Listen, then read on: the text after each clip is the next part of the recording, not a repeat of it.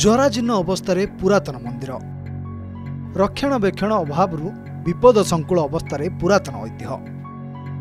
କେନ୍ଦୁଝର ଜିଲ୍ଲା କୋଡ଼ିଏ ନମ୍ବର ଜାତୀୟ ରାଜପଥରେ ଘଷିପୁରରୁ କେନ୍ଦୁଝର ଯିବା ରାସ୍ତାରେ ନଜର ପଡ଼େ ରାମଭକ୍ତ ହନୁମାନଙ୍କର ଏକ ସୁଦୃଶ୍ୟ ବିଗ୍ରହ। ଏହା ବାଟ କଡ଼ାଇ ନିଏ ଓଡ଼ିଶାର ସର୍ବପୁରାତନ ବୀର ଗୋବିନ୍ଦପୁର ରଘୁନାଥଜୀଉଙ୍କ ମନ୍ଦିରକୁ। କାଞ୍ଚି ବିଜୟର ସେନାପତି କେନ୍ଦୁଝରର ରାଜା ଗୋବିନ୍ଦ ଭଞ୍ଜ ଏହି ମନ୍ଦିର ପ୍ରତିଷ୍ଠା କରିଥିଲେ। କାଞ୍ଚି ବିଜୟ ପରେ ପୁରୀ ରାଜାଙ୍କଠାରୁ ଉପହାର ସୂତ୍ରରେ ଗୋବିନ୍ଦ ଭଞ୍ଜ ଦଣ୍ଡଦେବୀ ମା ତାରିଣୀ ଓ ରଘୁନାଥଜୀଉଙ୍କୁ ପାଇଥିଲେ। ସ୍ୱପ୍ନାଦେଶରେ ମା ତାରିଣୀଙ୍କୁ ଘଟଗାଁରେ ଦଣ୍ଡଦେବୀଙ୍କୁ ରାଜ ଉଆସ ଏବଂ ଶ୍ରୀରାମଙ୍କ ମୁଗୁନି ପଥର ପ୍ରତିମା ବୀର ଗୋବିନ୍ଦପୁରଠାରେ ପ୍ରତିଷ୍ଠା କରିଥିଲେ। ସେତେବେଳେ ରାଜା ଗୋବିନ୍ଦ ଭଞ୍ଜ ପ୍ରତିଦିନ ଘୋଡ଼ା ଚଢ଼ି ରାଜ ଉଆସରୁ ରଘୁନାଥଜୀଉଙ୍କ ଦର୍ଶନ ପାଇଁ ବୀର ଗୋବିନ୍ଦପୁର ଆସୁଥିଲେ। ତେବେ ଏହିସବୁ ଐତିହ୍ୟ ବହନ କରୁଥିବା ମନ୍ଦିର ଏବେ ଭଗ୍ନ ଅବସ୍ଥାରେ। ମନ୍ଦିରର କାନ୍ଥରେ ବିରାଟ ଫାଟ ଥିବା ବେଳେ ମୂର୍ତ୍ତିଗୁଡ଼ିକ ମଧ୍ୟ ଭାଙ୍ଗି ରୁଜିଗଲାଣି। ଇଏ ଗୋବିନ୍ଦ ଭଞ୍ଜ ଅମଳରୁ ତାରିଣୀ ଆସିଥିଲେ ଘଟଗାଁ ତାରିଣୀ ଯେଉଁ ସେତେବେଳୁ ଏଇ ମନ୍ଦିର ସ୍ଥାପିତ ହେଲା।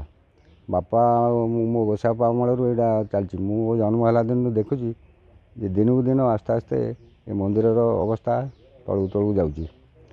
କାରଣ ଜମିବାଡ଼ି ଯାହା ଥିଲା ସେ ସବୁ ଆଉ ଇଏ ଯେଉଁମାନେ ବିଷୟ ରହିଲେ ଏମାନେ ଦାୟିତ୍ୱ ଭଲସେ ନେଲେନି ଯିଏ ଯେମିତି ପ୍ରଜା ଜବରଦଖଲ କରିନେଲେ। ଆଉ ସବ୍ କଲେକ୍ଟର ଯାହା ଅଛନ୍ତି ସିଏ ବି କିଛି ବୁଝୁନାହାନ୍ତି। ଆଉ ସବୁ ମନ୍ଦିର ଫନ୍ଦିର ଫାଟିଗଲାଣି ଆଉ ଏମିତି ସବୁ ଅବସ୍ଥା ଦିନକୁ ଦିନ ତଳକୁ ତଳକୁ ଯାଉଛି ଆଉ।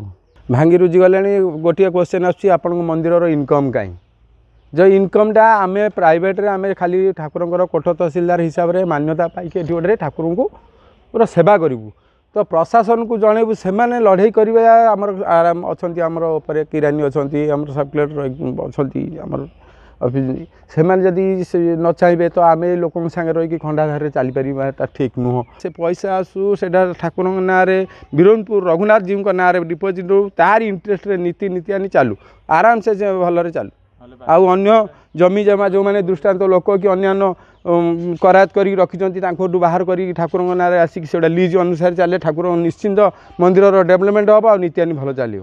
ମୁଖ୍ୟ ମନ୍ଦିରର ଗୋଟିଏ ପାର୍ଶ୍ୱରେ ରାମେଶ୍ୱର ମହାଦେବ ଓ ଅନ୍ୟ ପାର୍ଶ୍ୱରେ ରହିଛି ଏକକ ଜଗନ୍ନାଥଙ୍କ ମନ୍ଦିର। ପୂର୍ବରୁ ବିମାନରେ ବସି ଦୋଳ ପୂର୍ଣ୍ଣିମାରେ ପ୍ରଭୁ ଶ୍ରୀରାମ ଆନନ୍ଦପୁର ସହର ପରିକ୍ରମା କରୁଥିଲେ। ସାତ ଦିନ ଧରି ପାଳିତ ହେଉଥିବା ରାମନବମୀରେ ଆଦିବାସୀ ନୃତ୍ୟ ପାଲା ଭଜନ କୀର୍ତ୍ତନ ଆଦିରେ ଅଞ୍ଚଳ ମୁଖରିତ ହେଉଥିଲା ଉଣେଇଶହ ବାସ୍ତରି ମସିହାରେ ରଘୁନାଥଜୀଉ ମନ୍ଦିର ଦେବୋତ୍ତର ବିଭାଗକୁ ହସ୍ତାନ୍ତର ପରେ ପ୍ରକୃତ ଅସୁବିଧାର ସୂତ୍ରପାତ ହେଲା। ଏହା ପରଠୁ ମନ୍ଦିର ନା ରକ୍ଷଣାବେକ୍ଷଣ ସଠିକ୍ ଭାବେ ହେଲା ନା ଐତିହ୍ୟ ସୁରକ୍ଷିତ ରହିଲା।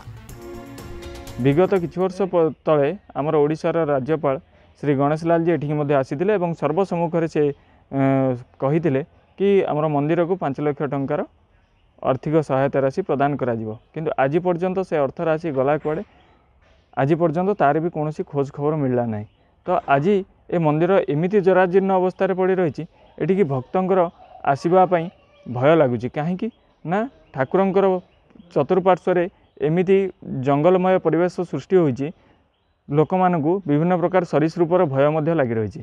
ତେଣୁ ଏଣୁ ଆମେ ବାରମ୍ବାର ପ୍ରଶାସନୀୟ ଅଧିକାରୀ ଆମର ଜିଲ୍ଲାପାଳ ଉପଜିଲ୍ଲାପାଳ ମହୋଦୟଙ୍କ ନିକଟରେ ବାରମ୍ବାର ଦାବିପତ୍ର ପ୍ରଦାନ କରିବା ସତ୍ତ୍ୱେ ସେ ଆଜି ପର୍ଯ୍ୟନ୍ତ ଏହାର କୌଣସି କାର୍ଯ୍ୟାନୁଷ୍ଠାନ ଗ୍ରହଣ କଲେ ନାହିଁ ଏବଂ ମନ୍ଦିର ପାଇଁ କୌଣସି କାର୍ଯ୍ୟକ୍ରମ କଲେ ନାହିଁ।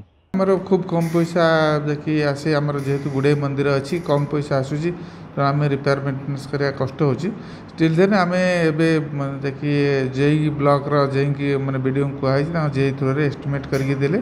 ଆମେ ଦେଖି ତାପରେ ଏଇଟା ଦେବୋତ୍ତର ଡିପାର୍ଟମେଣ୍ଟକୁ ଜଣାଇବୁ ଏବଂ ଯଦି ଏଏସ୍ଆଇ ଅଣ୍ଡରରୁ କିଛି ଅନ୍ୟଠାରୁ ପଇସା ଆସିପାରିବ କିମ୍ବା ଅଦର୍ସ ସଂସ୍ଥା ଆମର ଯେଉଁଟାକି ଯେହେତୁ କୋଭିଡ଼ ଯାଇ ବନ୍ଦ ଅଛି ଯେଉଁ ଏମ୍ ପି ଲାଡ଼ ଏମ୍ ଏଲ୍ ଲାଡ଼ ତା ଦେହରେ ବି ରିଷ୍ଟ୍ରିକ୍ସନ୍ ଏସ୍ ଡି ଏଫ୍ରୁ ହୋଇପାରନ୍ତା।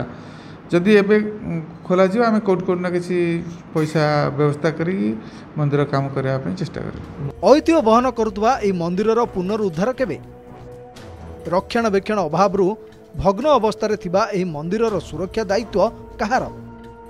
ତୁରନ୍ତ ଏହାର ପୁନରୁଦ୍ଧାର କରାଯାଇ ପ୍ରଚାର ପ୍ରସାର କରାଗଲେ ଅଞ୍ଚଳକୁ ଆହୁରି ପର୍ଯ୍ୟଟକଙ୍କ ଭିଡ଼ ଜମନ୍ତା ବୋଲି ସ୍ଥାନୀୟ ଲୋକେ କହିଛନ୍ତି।